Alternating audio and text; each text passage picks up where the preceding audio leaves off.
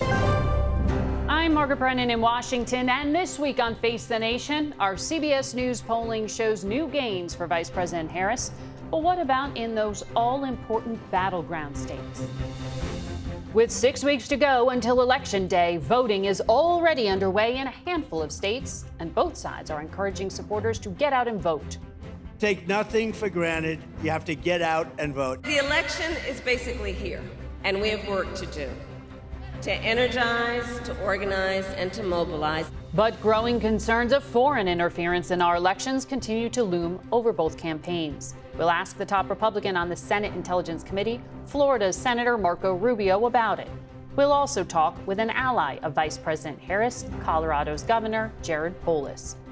Then, after a second assassination attempt on former President Trump at his golf club in Florida, the scrutiny of the Secret Service intensifies. We'll talk to one of the Democrats on the congressional task force investigating both cases, Pennsylvania's Chrissy Houlahan.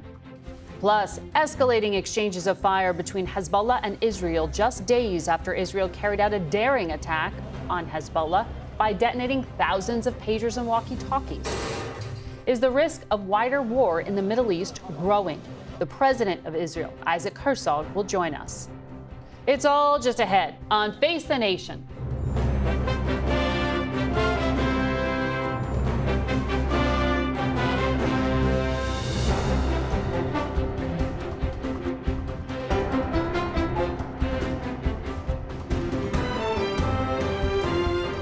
Good morning and welcome to Face the Nation. We begin today on the presidential race and our new CBS News poll, which finds Vice President Harris up four points nationwide over former President Donald Trump.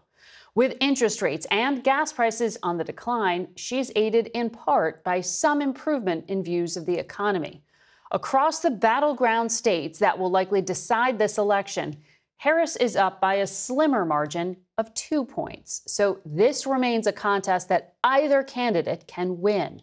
For more, we're joined now by our Executive Director of Elections and Surveys, Anthony Salvanto. Anthony, this is a remarkable national poll because to date, the economy has been viewed as a headwind for Democrats that appears to be shifting?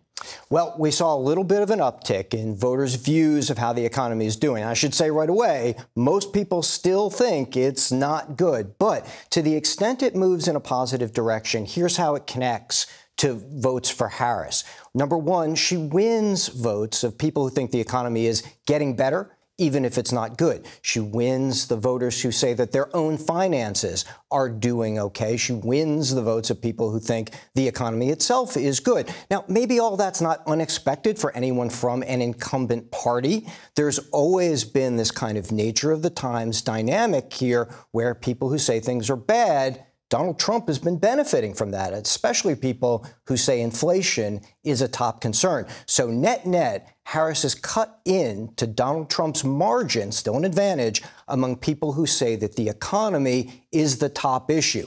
Is she ever going to eclipse that? Maybe, maybe not. But the question politically is can she do well enough to sustain this uh, sort of very slight edge mm-hmm. in what is, and I got to sort of reiterate this if I can, still a really close contest. Because even when you look state by state, yeah. everything is razor tight. It can go either way. So, how much did the debate help? Well, a little bit in terms of firming up support for Harris, in the sense that on net, voters told us it made them more likely to consider her as compared to Trump. But the people who said that had voted for Joe Biden in 2020. Mm-hmm. They were already sort of Democrats or liberals. So, in the sense that she's still trying to kind of cement that Biden electorate from 2020, that helps. And I should add quickly look, Donald Trump's support isn't going anywhere. The question for him is can he draw more voters to him, which doesn't look like it's happening just yet. So, immigration and the border crisis have been a prime area of attack by Republicans on Democrats. It really went back in the spotlight after the debate. Um, we looked at whether people thought that those claims about dogs and cats being eaten in Springfield, Ohio, were true. And by and large, the voting public says no, they don't think those claims are true. As you know, they've been debunked. Um, but For Donald Trump's voters, there are two thirds who do think that that is true, that his claims are true, that do approve of him making those claims. Now, here's the difference. For them, for the Donald Trump voters, we ask, well, why do you think he made those claims? And their answer was they think he was trying to raise larger topics, larger issues about immigration. That's something we've seen before with Trump's rhetoric. They there's maybe the literal part of it, but then there's also what they think is speaking to larger issues of concern to them. But juxtapose that against what the wider audience of voters thought they disapproved of him making the claims. They thought his intent was to make people who were recent immigrants feel uncomfortable in those communities. And so that's the difference because, and sort of button up with this, when you look at Donald Trump's voters, remember that not only is immigration a big concern for them, but their perception of immigrants is very negative, frankly. It is, they think immigrants commit more crimes. So that's been kind of underpinning a lot of that, and it speaks to that Trump voting base. Which is why he revisits that theme um, throughout. One of the other things that I know all of us have been tracking, you've been really trying to quantify, is the risk of political violence and the support for it in this country. Uh, it was just last Sunday, there was the second attempt on Donald Trump's life. Now, what do you think that indicates, if anything, about the months ahead?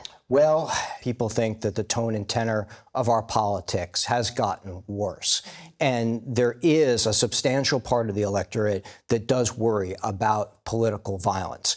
And each side looks sort of across and says that they think violence might increase if the other side wins. And what's interesting about that is a lot of times people talk about the worry if one side or the other loses, but you also see this public conception of it as would that give kind of license to the other side if they were to come into power? All of which is to say, we do unfortunately see the public mind, the electorate, feeling like this is a cloud hanging over the election.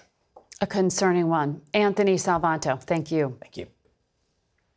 And we turn now to Florida Senator Marco Rubio, the vice chairman of the Senate Intelligence Committee, and he joins us from Miami. Good morning to you, Senator. Good morning. So I have a lot to get to with you, but I want to focus in on what you and your committee have been told. I know U.S. intelligence and the FBI said foreign actors are increasing their election interference as we get closer to November. This week, the Senate is going to be briefed in full on this. What is the scenario that is concerning to you? Well, I think it's going to become a fact of life in the 21st century. It's just very easy now for anyone to do it. You don't have to be a big nation state. So uh, they're kind of all different. The, the, the Russians are looking at what are the pre-existing fractures in our country, and then they try to sow division, getting us to fight with one another. That's primarily what we've seen them focused on, you know, sowing messages out there, uh, including with inauthentic things that they create. You know, you use AI, you make a fake video, whatever, you put it out there just to get Americans to fight against each other. In the case of uh, Iran, Iran has, uh, it seems to be more specifically focused on Donald Trump. I mean, it's been now publicly documented they're trying to kill him. And so if Iran's trying to kill Donald Trump, they most certainly don't want him to win the election. And um, so that's what their efforts have been, including uh, attempted hack and leak operations and things of this nature the, the Chinese are, are really kind of new into this business or growing into this business of it. And they seem increasingly, in some, at least in past cases that we've seen publicly disclosed, going after specific candidates that they view as being anti China. I don't think they want Donald Trump to win, but I, I, do think you've seen them focus on things like congressional races in the past. Mm-hmm. And, and I also think they're laying the groundwork for more expansive operations in the future on influencing American public opinion on things like Taiwan and what's right. happening in the South China Sea and things of that nature. So there are multiple actors out there that are in the space now, and I think you'll see more in the years to come because you don't really need, you know, to build uh, anything really expensive. You just mm-hmm. need access to the World Wide Web, and you know, we're an open country, an open society with open means of communication. And the best way to deal with all this is for awareness. People to right. understand everything you see on the internet isn't true. Right, exactly. That's why we want to talk about it. Um, Microsoft's president testified before your committee, and as he put it, the most perilous time is the 48 hours right before the election. He described this as a race between not just Trump and Harris, but Iran versus Trump and Russia versus Harris. Do you think the United States has gotten smarter in how it responds And, and have we learned from what happened in 2016? Yeah, and so what he alluded to are some instances in the past where some fake audio or fake video generated using AI is put out there and it influences the election 48 hours. I think we're a little bit insulated from that. Not that we should let our guard down, but a lot of the votes are already in by the time 48 hours comes around. So that doesn't mean it's irrelevant in very close races. It could tip the scales. I do think all the way around, here's the bottom line. If you see something out there, a video that just seems way too scandalous, uh, I would pause for a second and make sure that it can be verified. That's my advice to everybody is mm-hmm. don't just believe something you see for the first time. It may have been something that happened five years ago and they're making it look like it happened yesterday. It may be something that, uh, that has been made up uh, right. using an AI uh, mechanism to do so. And, uh, and so I, th that's be my advice to people as well. Again, I'm not saying 48 hours before the election is irrelevant in America. Mm -hmm. I am saying it's probably less impactful than it is in some of these other countries who don't have mail voting, early voting, where so many of the votes are already in by then. Well, uh, the, the, Biden administration has issued sanctions, warnings, these public disclosures. One of them this week was about Iran trying to hurt the Trump campaign by hacking and stealing information and then sending it to the Biden campaign. This was similar to that hack and leak operation disclosed uh, in terms of trying to target journalists. And I know it was widely reported information about you, sir, was stolen and given to journalists. Do you know what was stolen? No, but I doubt it's anything that you probably couldn't find with, uh, you know, just a search online of past stories that have been written and things of that nature. But I, look, I think you're going to seek more of that in the years to come. And I don't think that the, you know, to credit to the media outlets and so forth, I remind that didn't run with it. I remind everybody, you know, back in 2016 when this first happened, you know, I said that's a foreign operation uh, that was used targeting the Clinton campaign. So this is going to become one of those things that is, I'm not saying we should be happy about it or accepting of it, but we need to be just understanding that this is now going to become a regular feature, not just of presidential races. You know, presidential races get so much attention that I think you can wade through some of that. It benefits from that at least. But I think some of these lower ballot races are the ones that are particularly more susceptible because if you're running for Congress or Senate somewhere, let's say a congressional seat, and someone dumps something like this on you, uh, it's much harder uh, to get the truth out there in time uh, for it to be cleared up. There just isn't going to be as much interest and there isn't going to be as much people covering it. Well, uh, Donald Trump posted um, about the hack and leak operation attributed to Iran, but he said it was evidence that the FBI was spying on him and then blamed the vice president for spying on him. That is not at yeah, all the case. I, no, I, well, again, I don't know anything more than what's been publicly reported when it comes to that hack and leak operation. Perhaps we'll know more this week. I, uh, but again, it doesn't surprise me that someone, you know, clicked on something, they got into your system, they stole documents, and then they try to give it to the media. And look, here, here's what we're going to see one day. It's not just that they're going to take it and give it to a campaign or the media. They're going to give it to somebody, some online journalist, somebody who will run with this right. stuff and will begin to report on it or maybe even alter it. For example, make up a fake email where it looks like a real email. Maybe it is a real email, but they alter a few words in it and put it out there. And by the time you put out that fire, um, it, it, you know, it's done damage. In right. a presidential race, everybody will cover that, and I think you can get to the truth a lot faster. In a down ballot race, it's going to be a lot harder for some candidate to prove that that email is fake. By the time they do, the yes. election may be over. Just to be clear, though, it was the FBI that publicly disclosed this with the Intelligence Committee as happening, not the FBI right. spying That's on correct. the Trump campaign. Um, there are, when we want to talk about threats to Mr. Trump, it was just last Sunday, there was the second uh, near miss there are FBI investigations underway into what happened here. Um, but Senator Vance said he doesn't trust Kamala Harris's Department of Justice to really investigate this stuff. Can you assure the American people that law enforcement is conducting a full and impartial investigation?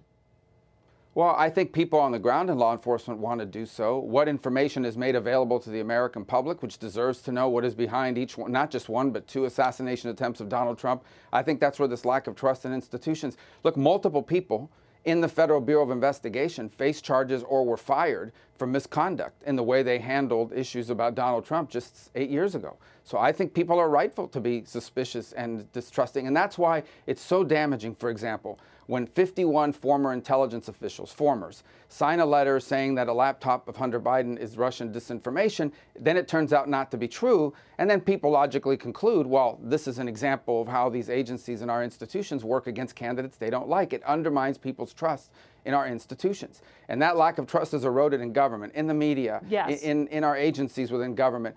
And unfortunately, that's why people, that's why disclosure and openness with regards to these investigations is so critical. It's not just because we want to know, it's right. because it's important to preserve trust in our institutions. And we're but not you, seeing that. More on the second than the first, but we've, but, you know, but we're not seeing it. But you trust the FBI and can assure the public that they are investigating these assassination attempts that J.D. Vance says they're not taking seriously? I trust rank and file in the field FBI agents to do their job. Okay. I don't know what their leadership in some of these agencies and the mid-level will do with it because you've seen a history in the past of there being bias. I hope that's not true. Yeah. And, and more importantly, I don't, I don't, I think what the real question is, if in fact they do discover, let's just say, I'm speculating, I'm not saying I know this to be true or even that I think is true, but let's say there is a foreign nexus to one of these two attempts. Would they allow that information to be put out there to the American public before the election in November. I can't tell you with 100% certainty that there wouldn't be uh, those within the agency. Yes, absolutely. I think that's okay. an important factor for people to know. Um, I wanted to ask you about whether you have heard or have any information in regard to a foreign nexus in regard to the bomb threats made in Springfield, Ohio. The governor of Ohio said they had over 30. And he said the person who made the calls came from overseas. This was after Trump and Vance put the focus on Haitian migrants in that town. Yeah, only what's been reported publicly, but that would not be uncommon. For example, a lot of these uh, uh, these calls where they call and tell the SWAT team to go to someone's house because there's a murder occurring, a lot of these come from overseas as well. And unfortunately, there, you know, that, that that doesn't mean it's being directed by a government overseas. It okay. could be. I haven't heard that, but just because they're coming from overseas doesn't mean a government is behind it. But yeah, we have these kinds of individuals all over the world that yeah. like to do these kinds of things. Well, here in this country, in terms of people being inspired to take action, uh, we have been looking, as you heard, about um, what the perception of the public is right now, particularly with some of the things that Mr. Trump and Mr. Vance say. Our poll shows two thirds of Trump supporters believe those false and disparaging claims about Haitian migrants are true. Uh, the governor of Ohio has said he is a big supporter of the ticket, but he's sad about this because there's no evidence of these claims. He's disparaging migrants who are legal, and the verbal attacks dilute and cloud what should be a winning argument for Republicans about the border. Do you agree that well, this kind of thing is a distraction from the broader point well, and dangerous? Well, it shouldn't be a distraction because, at a minimum, it shouldn't keep us from, for example, saying, okay, well, maybe I don't believe the dogs and the cats thing, but there are literally people moving in by the, by the thousands in the yes. case of Springfield. Charleroi in Pennsylvania.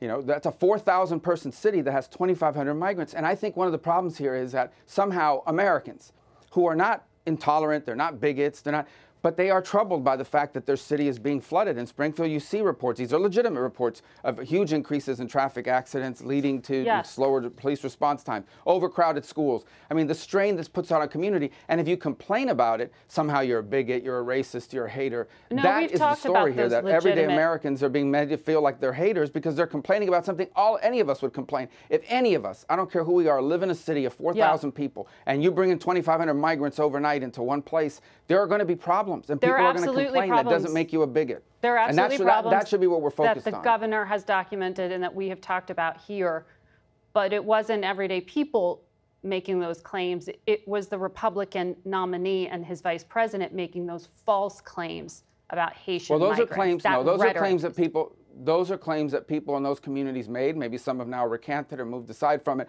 But that should not take us away from the fundamental truth, and that is there is ha- there are real impacts happening when you move people into communities, as has been done by design by the Biden administration yes, but, and allowing but you know, people you're, across you're the in leadership. So you know words matter.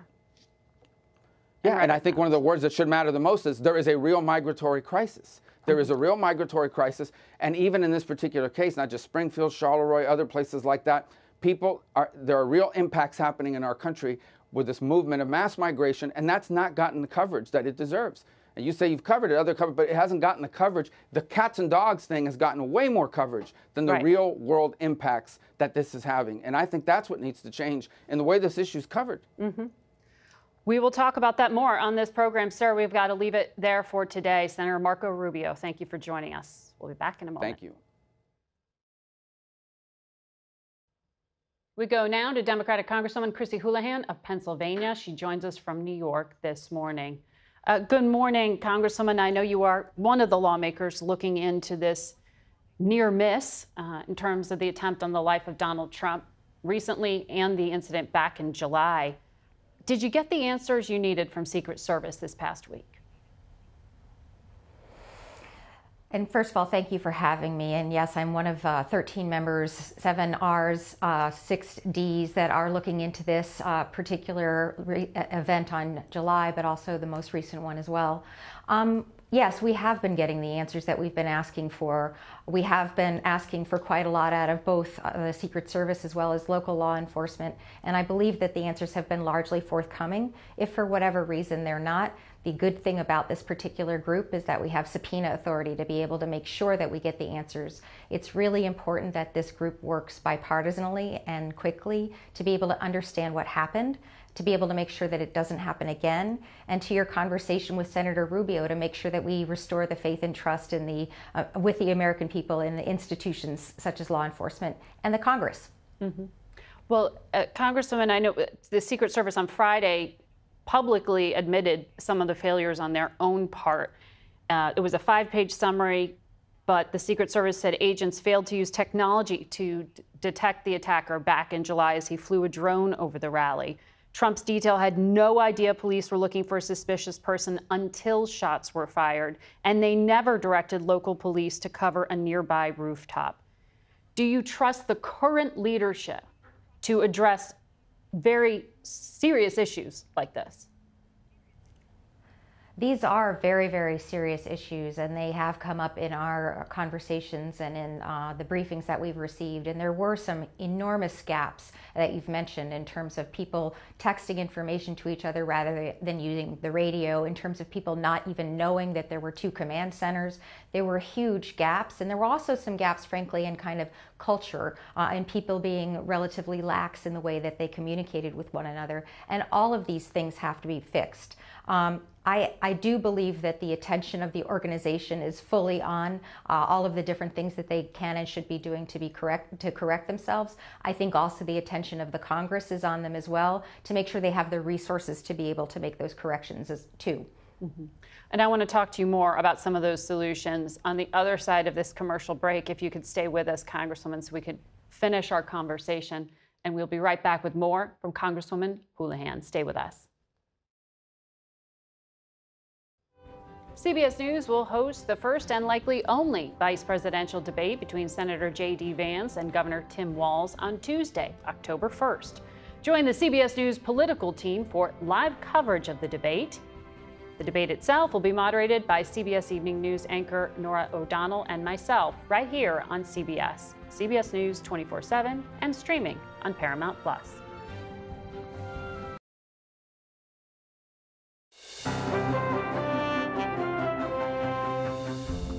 Welcome back to Face the Nation. We are continuing our conversation with Pennsylvania Congresswoman Chrissy Houlahan.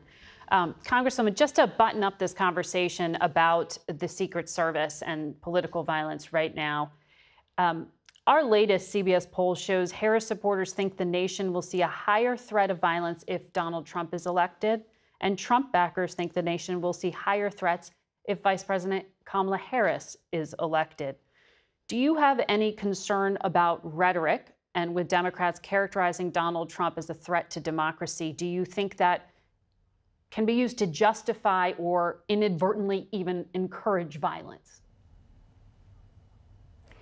Sure, and let's start from the beginning. Uh, political violence of any form is unacceptable, and we will not tolerate it and the Democratic Party, starting from the very top, from President Biden to Vice President Harris to members of Congress such as myself, have decried political violence. Full stop.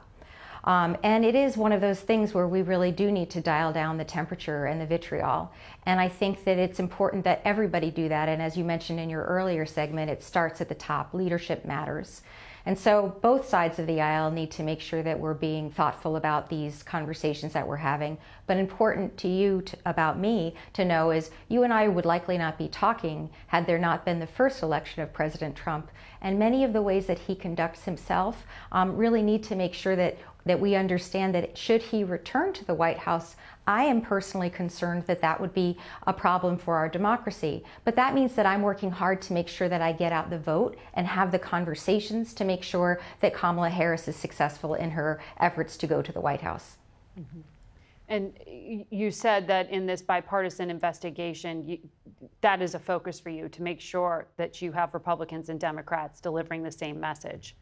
Um, and I take your point Absolutely. there. Absolutely. And, and Exactly. We were chosen because we're serious uh, lawmakers. We were chosen because we tend to be those people who are willing to do the work and to do it uh, quietly and effectively and to do it bipartisanly. And that's what I intend to do.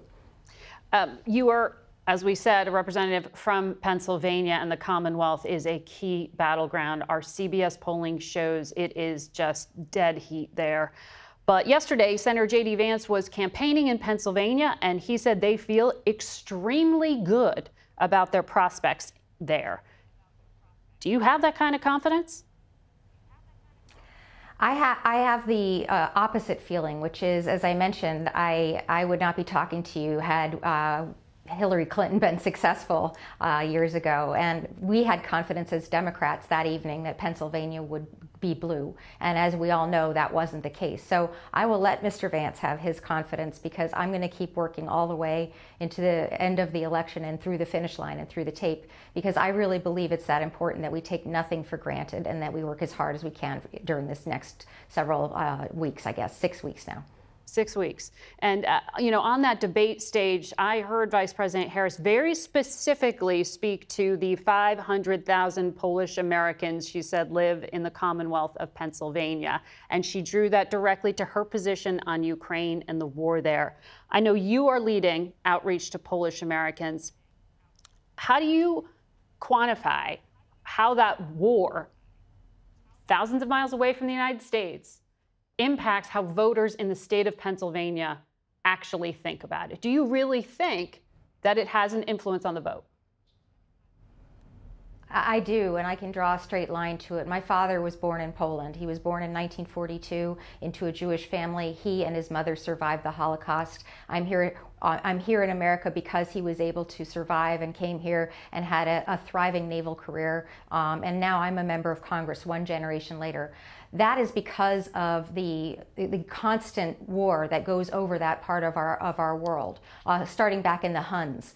Um, and I think it's really important that we talk to the Polish American population as well as everybody from the kind of Eastern Europe area, because it's not that long ago that World War II was. And that is absolutely something that can repeat itself if we don't support the Ukrainians and we don't support their fight for their democracy, which is their fight for all of our democracies. Uh, also, importantly, as a Pennsylvanian, the Lithuanian National Guard is our partner country. And so our men and women are in Lithuania at this moment uh, within harm's way if we don't help Ukraine. So I do think it's absolutely uh, an issue that makes sense and that we should talk about in places like Pennsylvania. Okay, and my producer is telling me it's actually higher than half a million. It's 800,000 Polish Americans. It is 800,000. I wow. didn't, yeah. okay. All right. It's Thank a good you. number. Yeah. It, it, certainly seems like that. And, and the president of Poland visiting uh, the Commonwealth today as well. We'll watch and see how that impacts what your voters think. Uh, thank you, Congresswoman, for joining us this morning. We'll be right back. We go now to Colorado Democratic Governor Jared Polis, who joins us this morning from Boulder, Colorado. Governor, uh, welcome back to Face the Nation. Uh, I know you are supporting. Pleasure to be here. Uh, supporting the vice president's bid for the presidency. She is ahead by four points, as you heard in our latest poll, but this is very tight. What is your greatest area of concern of potential vulnerability here?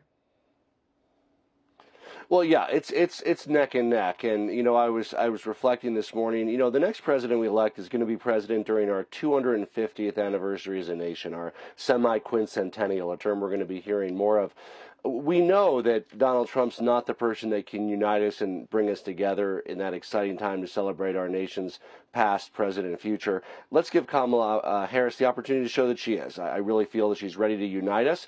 It's neck and neck, and we just need to get the vote out in the states that matter to be able to make sure that we can move forward rather than backward as a country. I want to ask you about some of her economic plans, but first about immigration. You heard Senator Rubio on this program talk about the lack of attention being paid to immigration and the border crisis, but I know you, Governor, have been dealing with it firsthand. Um, in Aurora, Colorado, that's been getting a lot of attention from the Trump team in particular because of members of a Venezuelan prison gang who migrated here to the U.S. and apparently were involved in a shooting in Aurora. During the debate, Donald Trump used Aurora as an example of the worst of the migrant crisis. This is what he said yesterday. Under border czar Harris, Venezuelan gangs have taken over entire apartment buildings in Aurora, Colorado. The government, the governor is petrified in Colorado. He's a liberal governor. He doesn't know what to do. The guy is so scared of these guys, and maybe you can't blame him. Governor, I know local officials set up a special task force, but how do you respond to this personal attack here? well, I, I, you know, I went shopping in Aurora yesterday. I, I, what a lot of Americans need to know is Aurora is a over 400,000 people. It's Colorado's uh, third largest city. Violent crime is down two years in a row. Car thefts are down two years in a row. It's it's a wonderful city. I'm there all the time. Uh, it's it's really a great diverse city and it's growing fast. It'll probably be the number one or number two city in Colorado over the next decade or two. So uh, it's a great city. It's safer than it's than it's been. And uh, look, it's like any city. Chicago, LA, mid-sized cities, Denver. Of course, there's been an issue with gangs for decades uh, in Aurora, and I feel that we finally turned the corner. I mean, this is the difference between electing a president that skirts the law versus one who's made a career enforcing the law. I mean, Kamala Harris is somebody who's who stared criminal enterprises in the face, put criminals behind bars mm-hmm. as district attorney, and she's going to take that same attitude to the White House to make America safer. But the mayor of Aurora has, has acknowledged a special task force was established and, and said they're working with the federal government. It's a regional issue. Should should the Harris campaign be talking about some of these real issues and acknowledging them in a way that might help their campaign? Because really, the answer is about that failed border bill at the uh, in Congress. That's usually what the Harris campaign talks about. Should they acknowledge more of these real issues? Well, I, first of all, I think that's a legitimate and important issue to talk about. Uh, Joe Biden and Kamala Harris, Democratic and Republican leaders in Congress, had a real bill bill before them to make the needed investments in border security. Look, I've, I've been down to the border. I've, I've, I've been at border crossings. Uh, we need better border security. Kamala Harris will deliver on that because it's not a simple proposition. It requires investment, high tech investment, fencing, uh, scanning, uh, more more border patrol agents, which the bill would have funded um, uh, more border patrol agents. So, look, I- am confident that Kamala Harris is somebody that will actually solve the border issue rather than keep it going for purely political yeah. reasons and for dividing us. We need somebody who's going to unite us, and of course, that includes securing our border. Should she talk about it more? Well, I, look, I mean, I think she talks about it as, as one of the issues. I mean, it's we need to make America safer. We need to secure the border. She had a plan to do that. It was blocked by Donald Trump and Republicans. Mm-hmm. So, look, I think it's a great issue for people to to run on and talk about, and it's one the Democrats should have a huge advantage on because Republicans have failed time and time again to secure our border. Uh, I want to ask about the economic plans here. Vice President Harris has a proposal to tackle housing affordability and she wants to give a first-time homebuyers down payment credit of $25,000 in addition to a $10,000 tax credit. I know you see this firsthand, what the crisis looks like in Colorado. Are you concerned that this will fuel demand for homes and just push up prices rather than solving the supply issue? So that's not the whole plan, right? That's one plank of the plan. Her plan is focused on creating over 3 million new homes, reducing bureaucracy and red tape, making it easier to build homes people can afford. Yes, as part of that, we want people, when they can, to be owners instead of renters so they can build value. This is the opportunity economy she talks about, right? Renting a home, a place to live, it's important. Owning a home, building equity and wealth over time. That's what Kamala Harris believes in. So, of course, 3 million new homes, reducing bureaucracy and paperwork, making it easier to build is part of that. Helping transform renters into owners is a key thing we should do to help make America more successful. So uh, that's how you would choose to solve it in your state as well. You think this would fix the problem? Well, again, you, yeah, you, you, talked about one plank. We're engaged in very similar reforms here. We've allowed now people to build accessory dwelling units, mother-in-law flats by right. We're doing additional allowing for multifamily, more inherently affordable housing near transit. The hardest kind of homes to build, not just in Colorado, but this goes in most communities across the country, have been those two, three hundred thousand dollar starter homes that somebody early in their career might be able to make the down payment and afford. Uh, the average home price in the Denver metro area is now $600,000. And that's great for those who can afford it, but we need more homes that are available for purchase in that two to three hundred thousand dollar range. That's what we're focused on in Colorado. We need to help nationally. Whoever saw, you know, we, this takes mayors, governors, presidents, all working in the same direction towards making housing more affordable, and that's exactly what Kamala Harris's plan will do. Governor, thank you for your time this morning. We'll be back in a moment. Hezbollah responded to Israel's strikes by firing over 100 rockets deep into Israel overnight. CBS News foreign correspondent Chris Livesay has the latest from Tel Aviv. A barrage of Hezbollah rockets and drones pierced the stillness of northern Israel this morning. Israel says most were intercepted by the Iron Dome defenses, but some found their target, like this strike near Haifa, which left three wounded and one dead when a teenager lost control of his vehicle. All of it in response to this. An Israeli attack on Friday in southern Beirut that killed top Hezbollah commander Ibrahim Akil, who will be buried later today following the funerals of other commanders who died in the strike. The Akil strike came after two days of devastating attacks on thousands of Hezbollah militants. The Israeli military says the war's center of gravity is now moving north towards Hezbollah and away from Hamas but Israel hasn't forgotten about Gaza. Today, a school where hundreds were sheltering was struck west of Gaza City. This just a day after the Hamas run health ministry said a strike on another shelter turned school left more than 20 people dead, half of them children, one of them a pregnant woman. Israel said the school had been turned into a Hamas command center. In a separate instance, our CBS News team in Gaza filmed babies and children injured in a strike on their family home this morning. In our Al Jazeera office in occupied West Bank, has just been raided. And in the West Bank, during a live broadcast, Israeli forces shut down the Ramallah bureau of broadcaster Al Jazeera. As a journalist read the warrant, the Qatar based network is accused of inciting and supporting terrorism.